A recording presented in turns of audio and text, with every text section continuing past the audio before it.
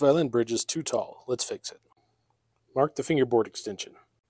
On both sides. Mark the extensions. Set the new height. Set the new height. Cut to the new height. New string notches. We're done.